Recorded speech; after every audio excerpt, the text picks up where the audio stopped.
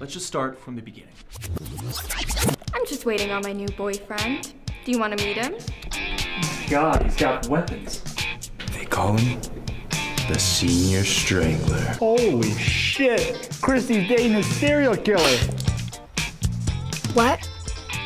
We should come up with a plan to catch this guy. I'm just gonna break up with him. Guys, this is my sister Tiffany. Hey, gorgeous. We're gonna need you to keep seeing Dean. We need more time with Tiffany. Don't worry, we have a plan. Why are you holding a dildo? I'm gonna use this for self-defense. That was a close call.